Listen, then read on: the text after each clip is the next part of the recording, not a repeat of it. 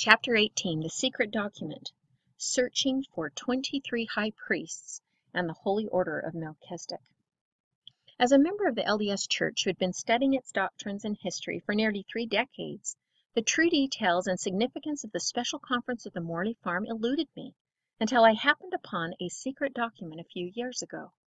During one of my pilgrimages to Kirtland, I was talking with a tour guide about the amazing Pentecostal events that had taken place in Kirtland during the early years of the Restoration movement. He confided in me that there was a secret document circulating around. Copies of the document, which listed the 23 people who were called and ordained to the high priesthood on that fateful day, were in the possession of some of the tour guides. He informed me that the list graded each of the 23 high priests with either an F for faithful, an A, or an A for apostate. The apostates were then categorized into one of the three subcategories, depending, according to the creator of the document, on how much light they had previously received and how far they fell, judging by how much they eventually persecuted Joseph Smith and the church, and ultimately whether they supported Brigham Young during and after the secession crises. The secrecy of the document intrigued me, and I pleaded with him to obtain a copy of it for me, which he did. Even after reading the document I didn't really see the significance of the event so I simply cataloged the document for future reference. Several months later, as I was studying some priesthood issues and Joseph Smith's sermon on the three grand orders of priesthood, it occurred to me just how significant that event was. I decided to review the document and do further research into the events of that conference. Unfortunately, I could not find where I had put the document, so I tried to find out who these 23 men were by Googling the topic.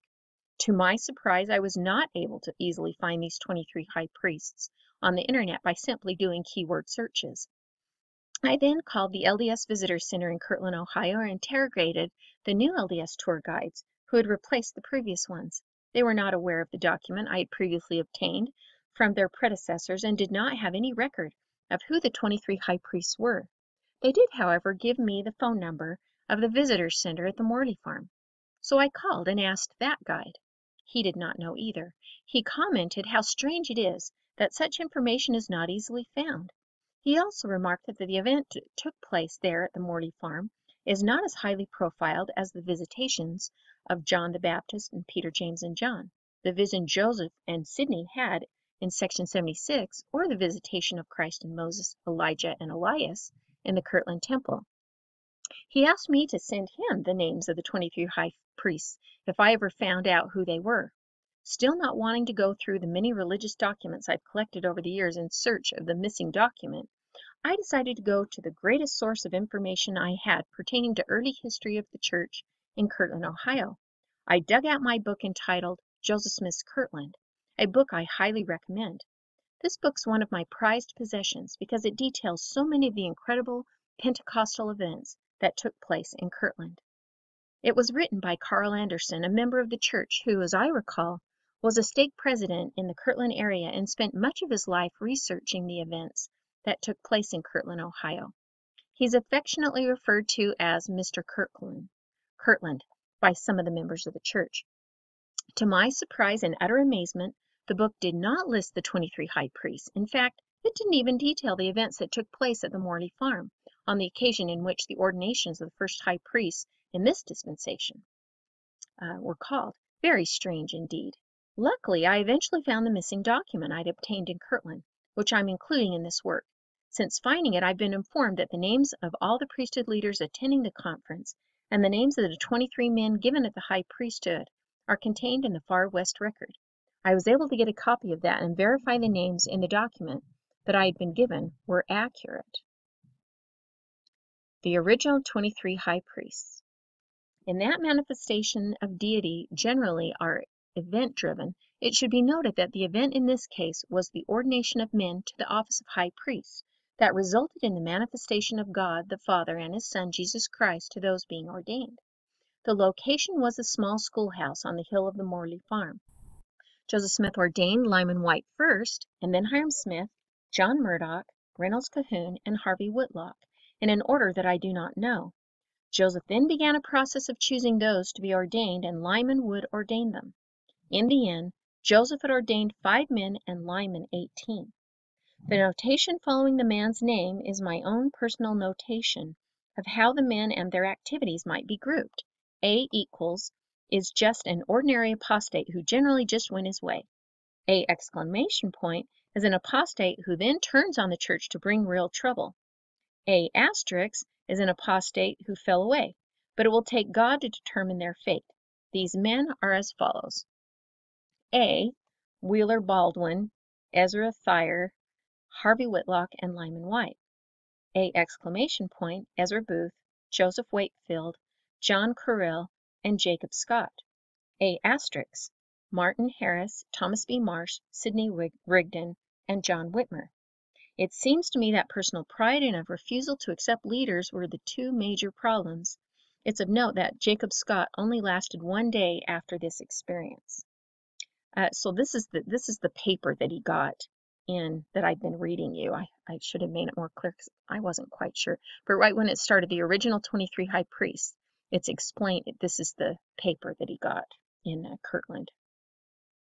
Uh, Wheeler Baldwin, A, uh, born March 7th of March 1793, died of late anyway, was converted by a special experience when Satan, in the form of a braying mule, was caused to pass away from him and his traveling companions through the power of prayer performed mighty miracles, ordained a high priest 6th of June of 1831. So he was an apostate. Ezra Booth, A exclamation point, um, baptized in Kirtland of 1831. Uh, Elsa Johnson's healing missionary apostatized in September of 1831 and was excommunicated in 6th of September 1831. Ezra helped tar and feather Joseph Smith at the Johnson farm in 1832. Then we've got Reynolds Cahoon. He's F for faithful. Um, he's one of the first to join Kirtland. Um, he was a counselor in the stake presidency. He worked on the Kirtland Temple. Um, then you've got Simeon Carter. Uh, he had a F for faithful. John Corrill, A exclamation point. Solomon Hancock, F. I'm not going to read each one of these and all that they did. I'm just going to let you refer to the book or or stop the writing. You can look through all of these 23 to see who did what. So I already briefly had it. Okay. Fortunately, we have a pretty good record of what transpired from the diaries and journal entries of Levi Hancock, Ezra Booth, Zebedee Coltrin, Philo Dibble, John Whitmer, John Murdock, John Corrill, Lyman Wight, and Parley P. Pratt. John Whitmer was the conference clerk. Admittedly, Ezra Booth and John Corrill had apostatized by the time they wrote their remarks and became skeptics and enemies of Joseph Smith and the church. Ezra Booth's remarks are tainted a little bit from his bias, which, in my opinion, makes his recollection just as important as the others in getting a balanced corroboration of testimony of what took place on that occasion one of the most significant secretive events. As I studied the Melchizedek priesthood and the amazing event that took place at the special conference at the Isaac Morley farm, I was flabbergasted at how the restoration of the Melchizedek priesthood completely changed the trajectory of the restored church.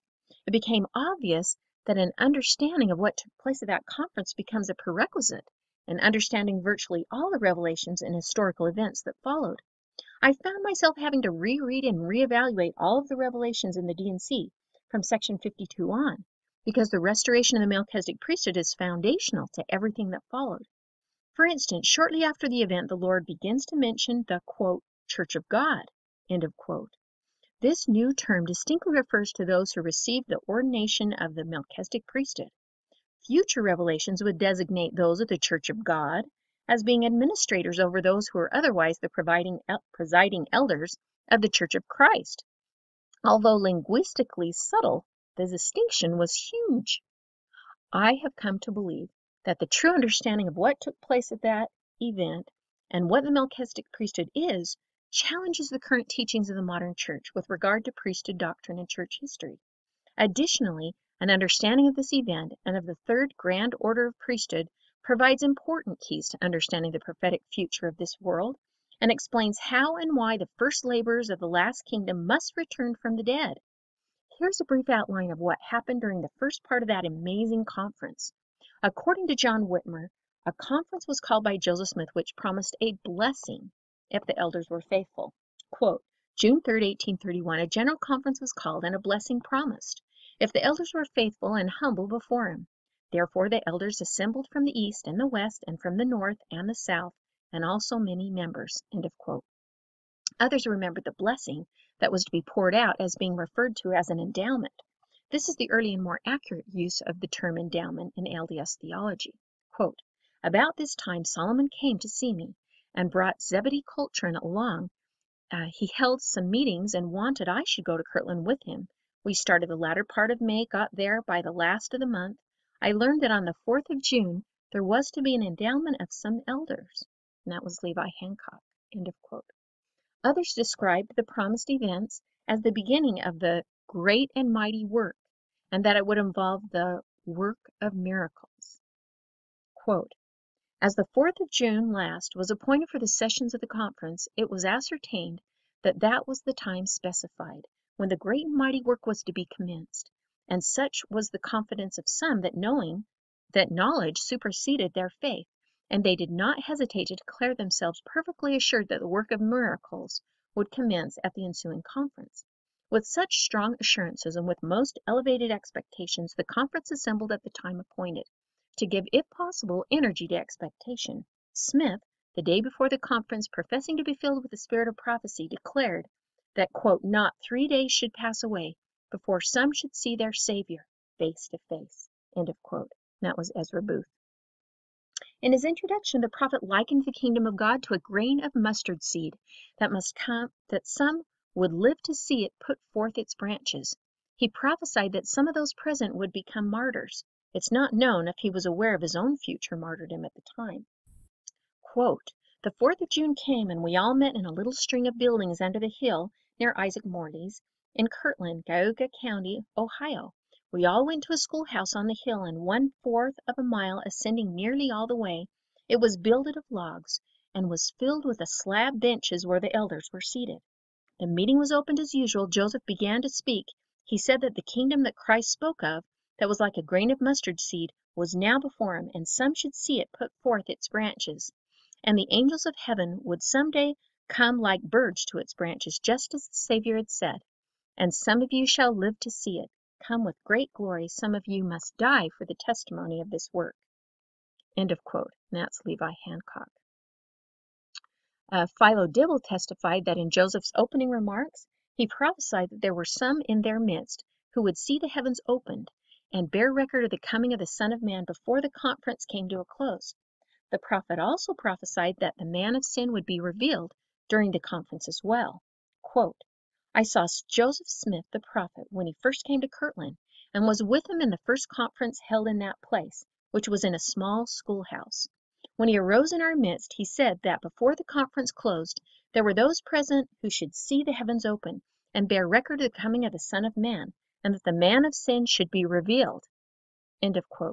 Apparently Joseph had prophesied of these events the previous day as well. John Whitmer notes that, Joseph Smith Jr. prophesied the day previous that the man of sin should be revealed. According to Ezra Booth, the prophet cautioned those in attendance in his preliminary remarks to, quote, not be overcome with surprise. According to Jared Carter, Joseph Smith, who was not a gifted speaker, became a talented speaker as he became filled with the Spirit. Before this, bracket, i.e. June 6, 1831, end of bracket, was that memorable day when God first gave the fullness of the high priesthood to the elders of the Church of Christ. At the interview, Brother Joseph, notwithstanding he is not naturally talented for a speaker, yet he was filled with the power of the Holy Ghost, so that he spoke as I never heard man speak for God, by the power of the Holy Ghost, spoke in him, and marvelous was the display of the power of the Spirit among the elders present.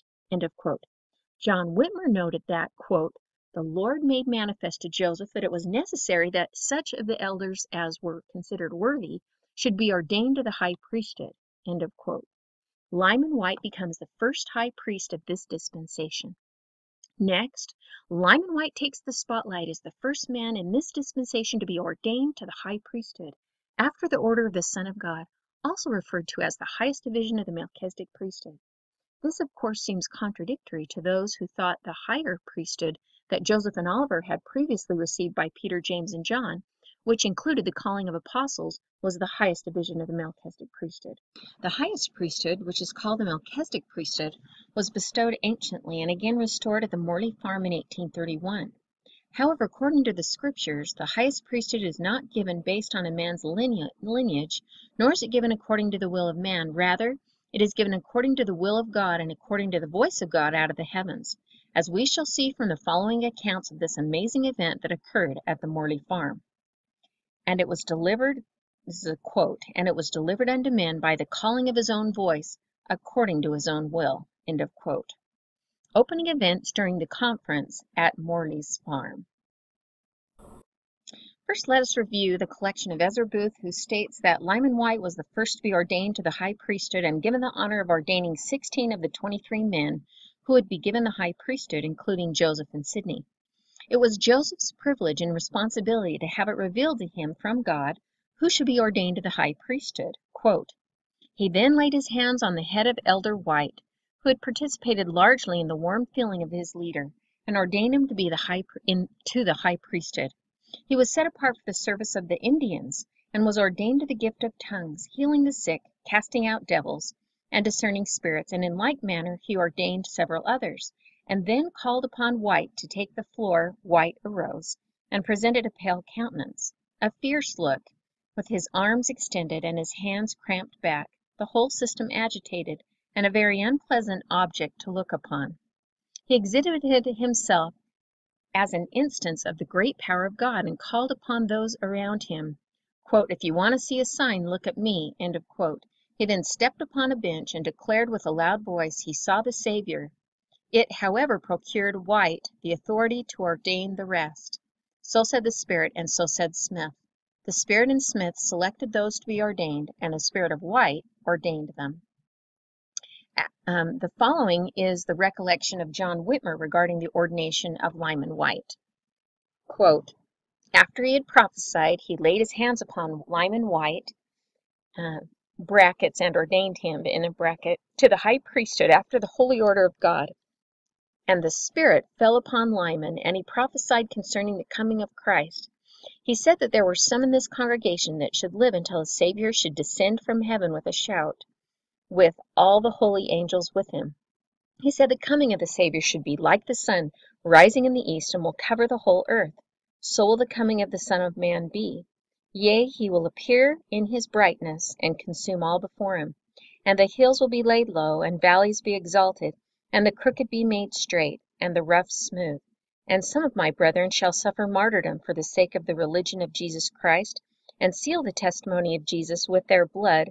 He saw the heavens open, and the Son of Man sitting on the right hand of the Father, making intercession for his brethren. The saints he said that God would work a work in these last days that tongue cannot express, and the mind is not capable to conceive. The glory of the Lord shone around at this conference. These were ordained to the high priesthood, namely, Lyman Wight, Sidney Rigdon, John Murdock, Reynolds Cahoon, Harvey Whitlock, and Hyrum Smith were ordained by Joseph Smith, Jr., except Sidney Rigdon. The following were ordained by Lyman Wight by commandment: Parley P. Pratt, Thomas B. Marsh, Isaac Morley, Edward Partridge, uh, Joseph Wakefield, Ezra Thayer, Martin Harris, Ezra Booth, who denied the faith, Harvey Whitlock denied the faith, also Joseph Wakefield, Joseph Smith Sr., Joseph Smith Jr., John Whitmer. End of quote. Uh, Levi Hancock recalled that Joseph, quote, looked at Lyman Wight and said, You shall see the Lord, and met him near the corner of the house, and laid his hands upon him, and blessed him with the visions of heaven. He then stepped out on the floor and said, I now see God, and Jesus Christ at his right hand. Let them kill me. I should not feel death as I am now. End of quote. Zebedee Coltrin stated, quote, Then Lyman Wight was ordained a high priest. Joseph told him he should see the heavens opened, and after he was ordained he stood on his feet and testified that he could see the heavens open and Jesus standing at the right hand of God.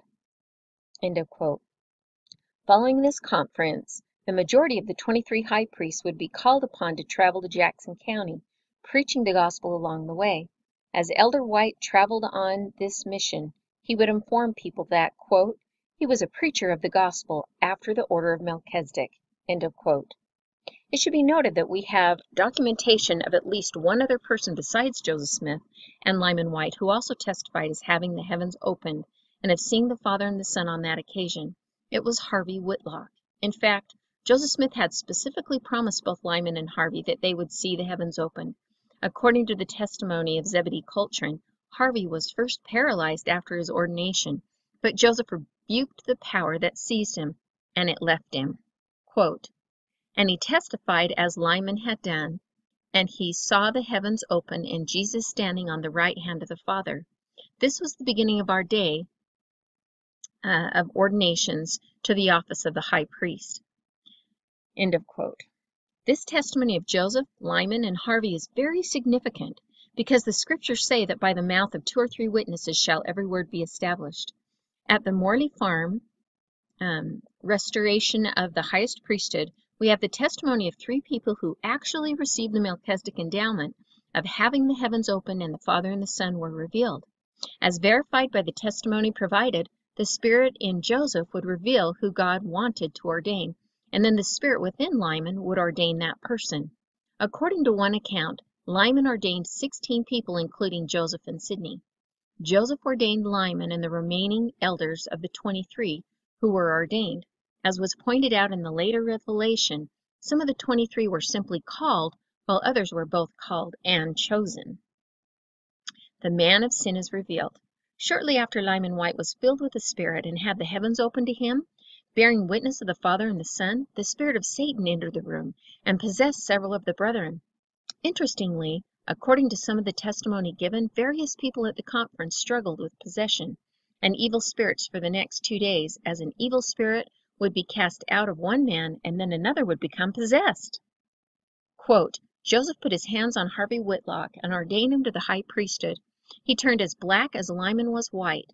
His fingers was set like claws. He went round the room and showed his hands and tried to speak. His eyes was in the shape of oval O's.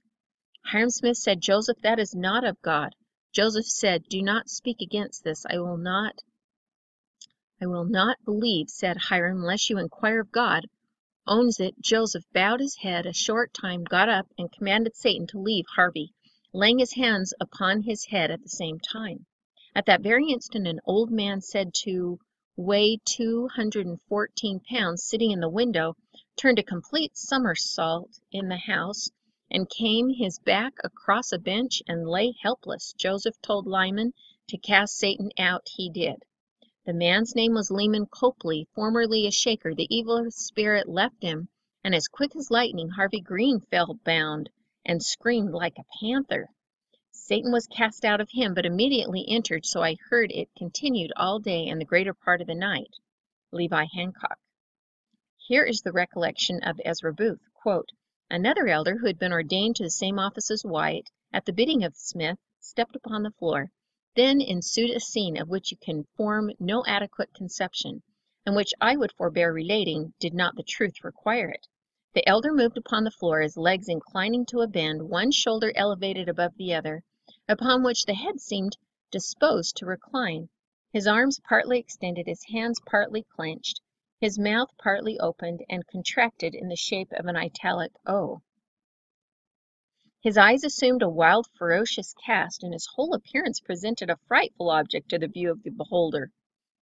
"Speak, brother Harvey," end of quote, said Smith, but Harvey intimated by signs that his power of articulation was in a state of suspense, and that he was unable to speak. Some conjectured that Harvey was possessed of the devil, but Smith said, "The Lord binds in order to set at liberty." After different opinions had been given and there had been much confusion, Smith learned by the Spirit that Harvey was under diabolical influence and that Satan had bound him, and he commanded the unclean spirit to come out of him. It now became clearly manifest that "the man of sin was revealed," end of quote, for the express purpose that the elders would become acquainted with the devices of Satan, and after that they would possess knowledge sufficient to manage him. This Smith declared to be a miracle, and his success in this case encouraged him to work other and different miracles. and that's by Ezra Booth. John Whitmer's recollection is consistent with the others. While the Lord poured out his Spirit upon his servants, the devil took occasion to make known his power. He bound Harvey Whitlock and John Murdock so that he could not speak and others were affected, but the Lord showed Joseph the seer the design of this thing. He commanded the devil in the name of Christ, and he departed to our joy and comfort. Zebedee Coltrin recalled, Harvey Whitlock was ordained next with the same promise, but after his ordination, when standing on his feet, he seemed paralyzed. His mouth was drawn into the shape of an italic O, and his arm was stretched out as if nailed to a cross. Joseph rebuked the power that had seized him, and it left him. Philo Dibble recalled, Then Harvey Whitlock stepped into the middle of the room with his arms crossed, bound by the power of Satan, and his mouth twisted unshapely. Hyrum Smith arose and declared that there was an evil spirit in the room. Joseph said, Don't be too hasty, and Hyrum sat down. Hyrum rose the second time, saying, I know my duty and will do it, and stepping to Harvey, commanded the evil spirits to leave him. But the spirits did not obey. Joseph then approached Harvey and asked him if he believed in God. Then we saw a change in Harvey. After the evil spirit was cast out of Harvey, he had the heavens opened and he saw the Son standing on the right hand of the Father, just as Lyman had done. The above accounts of this event seems to highlight both the powers of light and darkness that were manifest during the first bestowal of this highest priesthood. Great miracles in the opening of the heavens and the testimony of Jesus Christ took place. Conversely, as promised, the man of sin was revealed.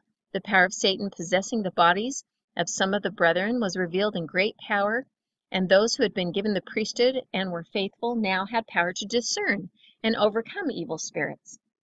The dynamics of the ego.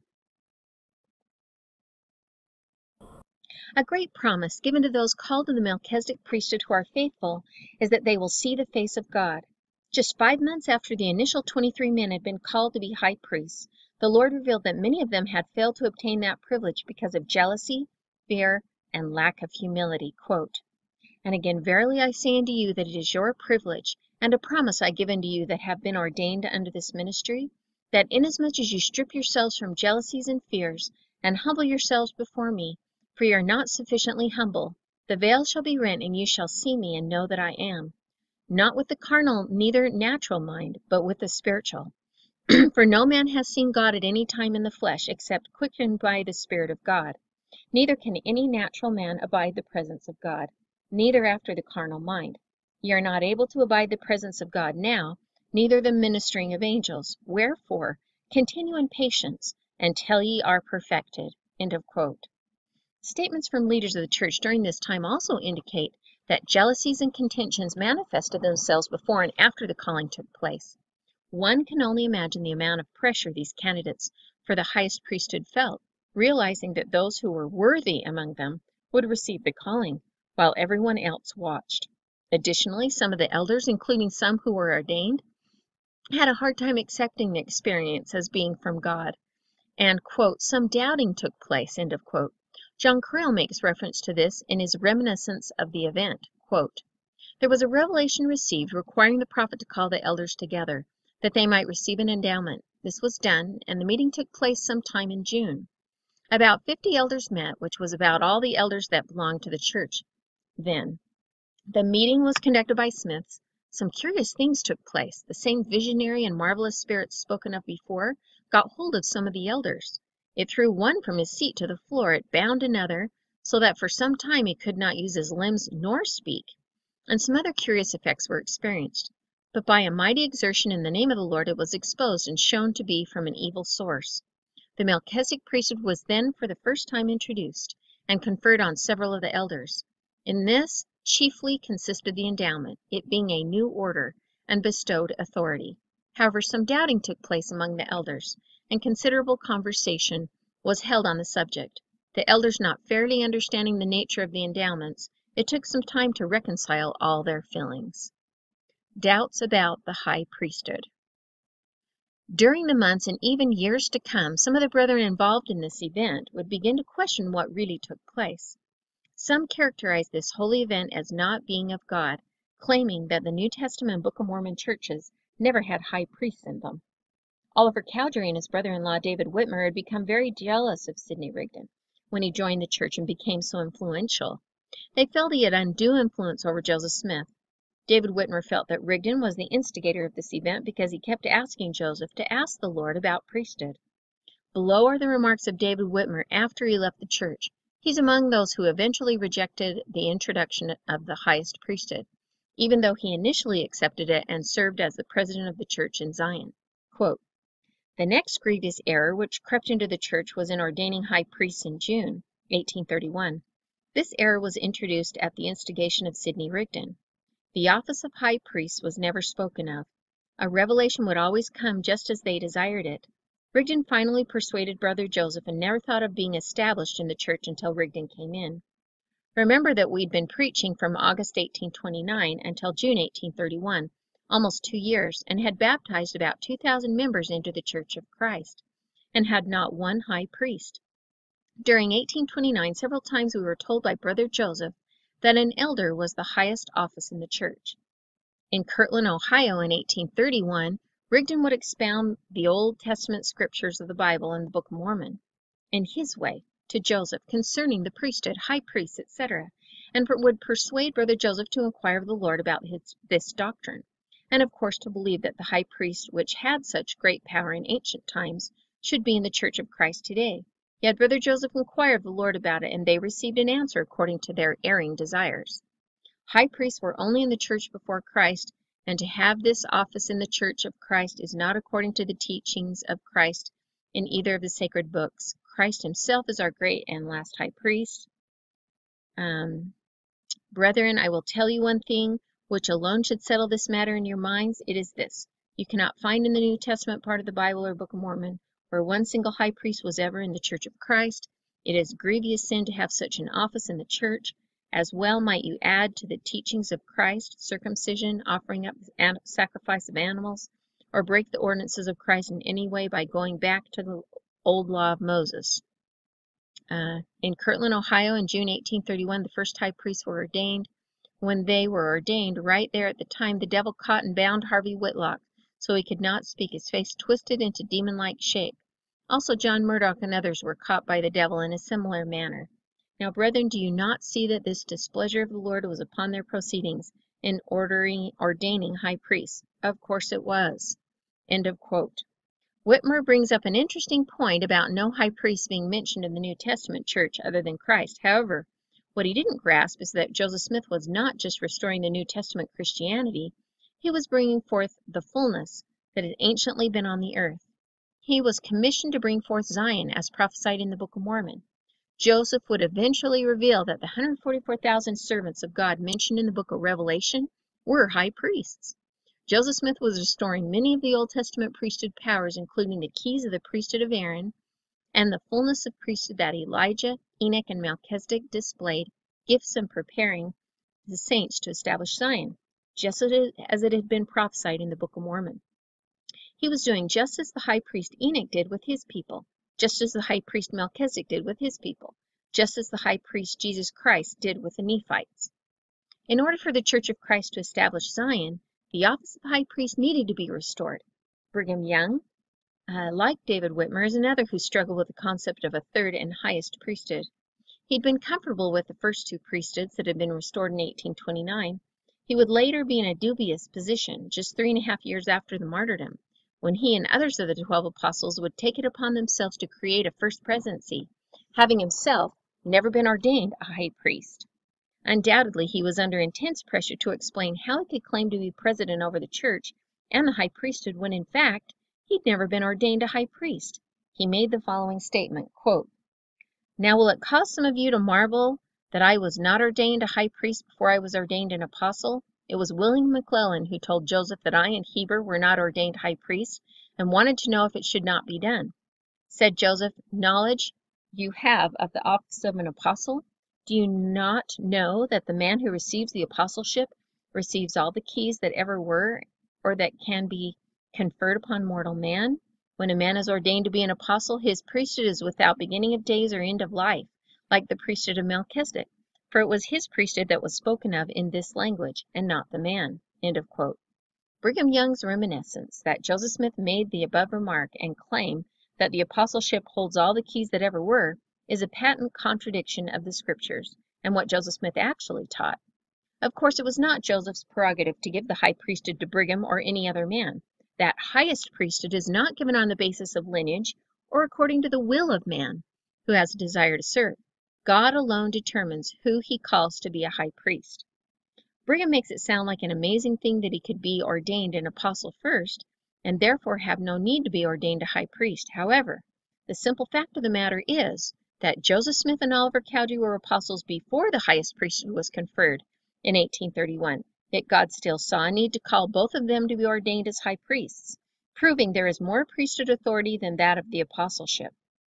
Joseph Smith made it clear that the office of high priest indeed held a greater priesthood than that of a prophet or apostle. Quote, that of Melchizedek, who had still greater power, even power of an endless life, of which was our Lord Jesus Christ, which also Abraham ordained by the office of his son, offering of his son Isaac, which was not the power of a prophet nor apostle nor patriarch only, but of king and priest to God to open the windows of heaven and pour out the peace and law of endless life to man, and no man can attain to the joint heirship with Jesus Christ without being administered to one to by one having the same power and authority as Melchizedek. End of quote. Clearly, what Brigham Young taught about the priesthood was not accurate or congruent with what the prophet Joseph Smith had revealed. Although the apostolic priesthood holds all the keys necessary to govern the church and dispense ordinances of salvation when a high priest is not available, it's not as great as the priesthood that Melchizedek held which is necessary to establish Zion and to obtain one's calling and election. Indeed, the purpose behind the saving ordinances is to lead a person to the Melchizedek ordination and associated endowment. This event took place at the first conference held in Kirtland, Ohio, which was very disruptive. Not only did it demonstrate the literal power of the man of sin, it challenged the existing doctrine of the priesthood. Additionally, one can only imagine the dynamics that took place between so many strong personalities and the egos involved in experiencing this amazing event. Keep in mind that the promise had been made that those who were worthy would be given the high priesthood. What kind of pressure would that put on those attending?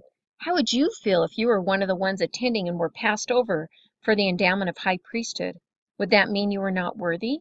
What if you were one of the ones who became possessed? Does that mean you are less righteous than others?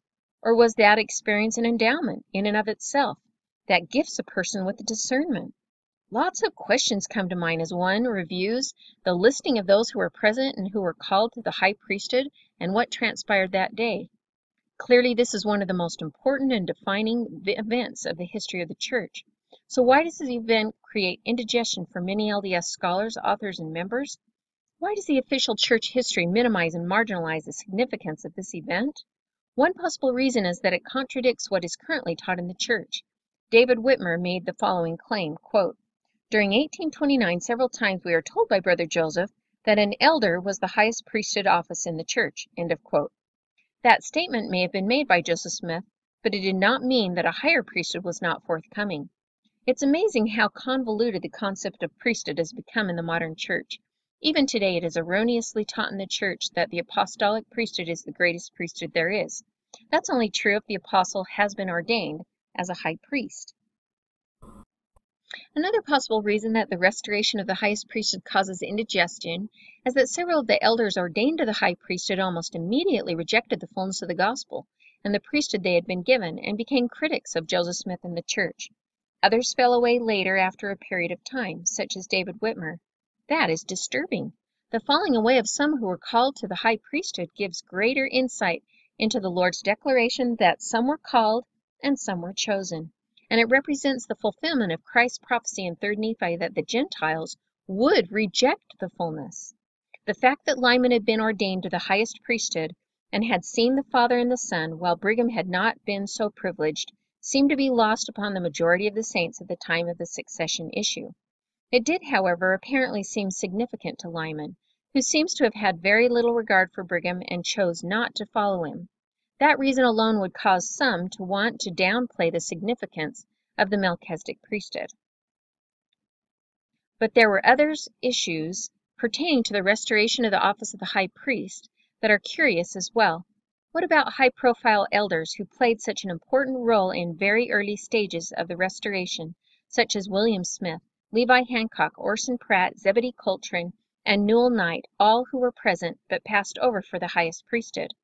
What about Zebedee Coltrin, who would eventually see God in Christ while attending the school of the prophets? Why was he initially passed over? Was he later born of due time like Paul? It's significant to note that the school of the prophets was not introduced until after the high priesthood was introduced.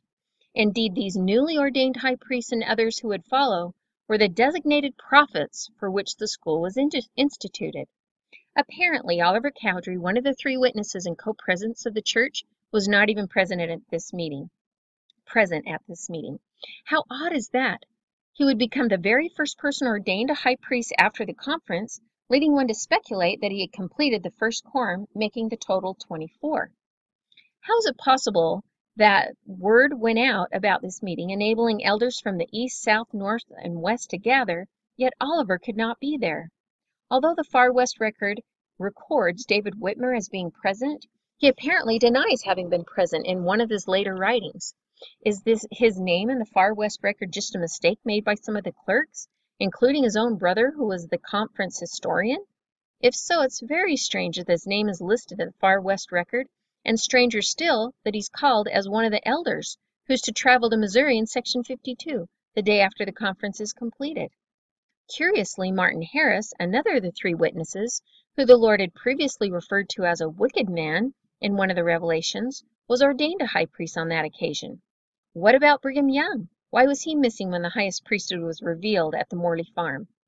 It's interesting to note that Brigham Young had learned about the Book of Mormon and the restoration of the Church of Christ and the fullness of the gospel in 1830, about the same time that Lyman Wight did. Yet Brigham Young did not participate in this great event at the Morley farm because it took him two years to think things over before joining the church. Young was eventually drawn to Mormonism after reading the Book of Mormon shortly after its publication in 1830.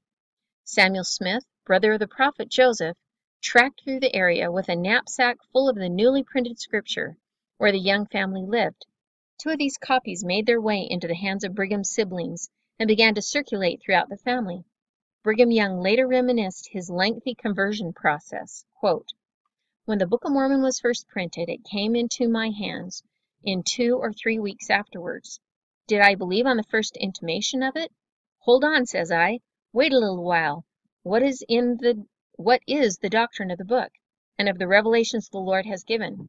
Let me apply my heart to them. I considered it to be my right to know for myself. As much as any man on earth, I examined the matter studiously for two years before I made up my mind to receive that book. I wished time sufficient to prove all things for myself. He later recalled I was not baptized on hearing the first sermon, nor the second, nor during the first year of my acquaintance with this work. Besides studying the Book of Mormon, Brigham wanted to learn the character of those who professed to believe in it. He apparently found it important to judge the messengers as well as the message. I watched to see whether good common sense was manifest, and if they had that, I wanted them to present it in accordance with the Scriptures. When I had ripened everything in my mind, I drank it in, and not till then. We can only assume that Brigham's absence at the special conference and God's unwillingness to have him ordained to the highest priesthood after he did join were all part of God's plan for him. Perhaps one of the most curious things about this event is the order in which people were called and ordained to the high priesthood. We know that God is a God of order. The very first man ordained obviously had a very significant position in this newly ordained quorum of high priests it seems probable that he would be the president of the quorum. The fact that Lyman Wight was the first to be ordained to the high priesthood and the first to have the heavens parted and to testify of seeing the Father and the Son after his ordination, instead of Joseph Smith, Oliver Cowdery, or Sidney Rigdon, is very, very significant. Lyman Wight became one of the most powerful missionaries, and he relentlessly pushed for the redemption of Zion. Here is Lyman's reminiscence of the event. Quote, on the 4th of June, 1831, a conference was held at Kirtland, Ohio, represented by all the above named branches. Joseph Smith, our modern prophet, presided, and here I again saw the visible manifestations of the power of God, as plain as could have been on the day of Pentecost, and here for the first time I saw the Melchizedek priesthood introduced into the Church of Jesus Christ as anciently. whereunto I was ordained under the hands of Joseph Smith. And I then ordained Joseph and Sidney and sixteen others such as he chose unto the same priesthood. The Spirit of God was made manifest to the healing of the sick, casting out devils, speaking in unknown tongues, discerning the spirits, and the prophesying with mighty power. After the two days the conference broke up receiving the revelation which appointed 28 elders their mission to Missouri. End of quote. Lyman Wight is one of the best kept secrets of the Restoration movement. Few members of the church have any comprehension of who he was and the sacrifices he made for the kingdom. This amazing disciple of Christ became known as the Wild Ram of the Mountains, was given the cryptic title and military priesthood title of Benini in one of the Revelations. He's among the first laborers of the last kingdom that will be returning soon. I strongly suggest you get to know him. He probably expended more energy in trying to live the law of consecration for the duration of his life than any other personality in the movement.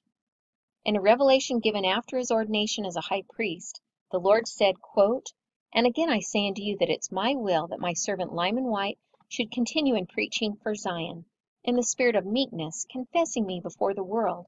And I will bear him up as on eagle's wings, and he shall beget glory and honor to himself and unto my name. And that's in uh, section 84. This revelation reminds us the high priests were called to preach for Zion. If there's one major theme interwoven throughout Wight's long, long, lifelong ministry, it was his continual personal attempt to live consecration and facilitate others to do it. He was passionate about living it and was quite critical of other leaders growing out of the succession debate, such as Strang, Thompson, and Young, for their inability to personally live consecration, as well as their acquisition of wealth which he felt was extracted from their followers. One writer made the following observation about Wight quote, There's one significant thing about Lyman Wight's community efforts which deserves attention because of its extreme rarity in utopian experiments.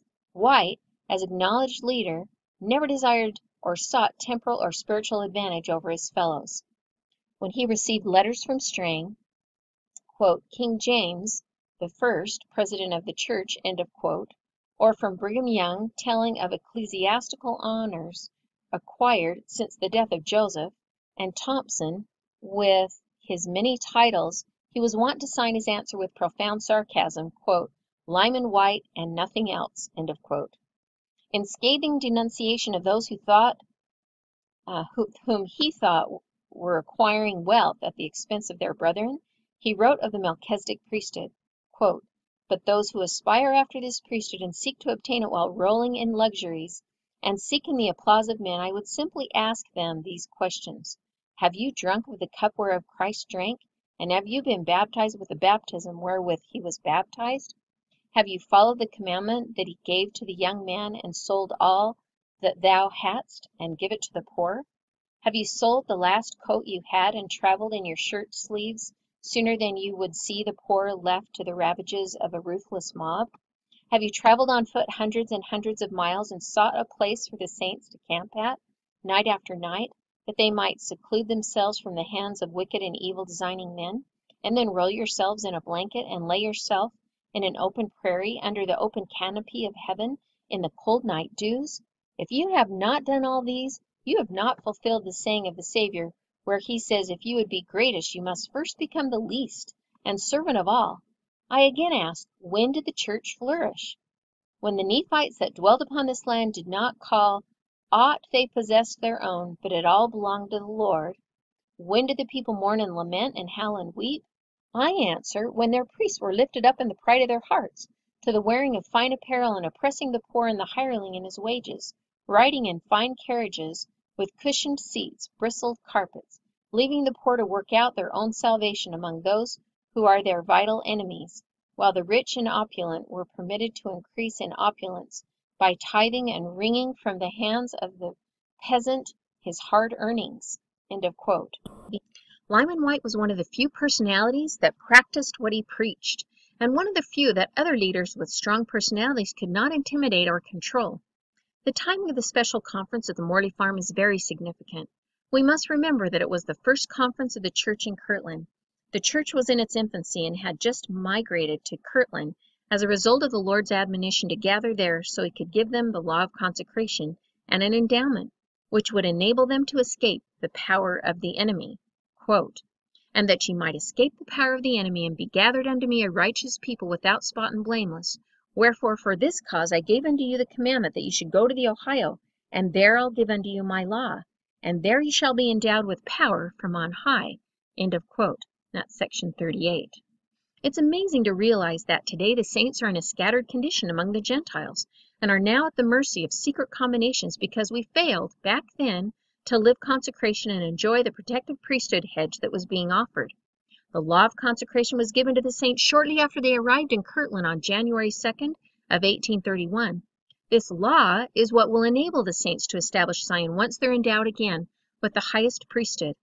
That is why it's called the law of the celestial kingdom, and it is the law upon which Zion is built. Quote, and Zion cannot be built up unless it's on the principles of the law of the celestial kingdom. Otherwise I cannot receive her unto myself. End of quote. Now, in this first conference in the church held just two months after the law of the gospel was given, the Lord was restoring the priesthood that Enoch and Melchizedek held. Why? So that the saints could be gathered, sanctified, and establish Zion, just as the people of Enoch and Melchizedek did. Having detailed what happened at the special conference having to do with the restoration of the highest priesthood and the revealing of the man of sin, we need to review the content in sections 52 through 65, now that we have the proper context for these revelations. Amazingly, section 52, which is given the day after the conference ended and was specifically addressing the conference attendees, begins by saying, quote, Behold, thus saith the Lord unto the elders whom he hath called and chosen in these last days by the voice of his Spirit, saying, I, the Lord, will make known unto you what I will that you shall do from this time until the next conference, which shall be held in Missouri, upon the land which I will consecrate unto my people, which are a remnant of Jacob, and those who are heirs according to the covenant. End of quote. That's section 52. Most Latter-day Saints like myself, until just recently, have read section 52 countless times without realizing that those elders who had just been called and chosen were the 23 high priests who had just received the Melchizedek priesthood. Context is critical. If you're not a Latter-day Saint, be grateful that you have not been hampered with a false context that comes from the false traditions of your fathers. If you are, read this section now with the information you have just obtained about the amazing conference at the Morley Farm, and it will become much more meaningful to you. Although do I do not agree with some of the assumptions made about the people listed on the secret document that I obtained, um, it led me to the knowledge of amazing historical event that has been largely obscured and forgotten. There's much to be gleaned by studying what happened at the special conference of the Morley Farm, those desiring to learn more are encouraged to visit my blog and read the entire series about searching for the 23 high priests. Once a person understands what really took place at the special conference of the Morley Farm, the Doctrine and Covenants will never read the same way from section 52 forward. The whole context of the revelations will change. In the next chapter, we'll take some of the information gleaned from the conference and with other passages of Scripture, we'll present a primer on priesthood.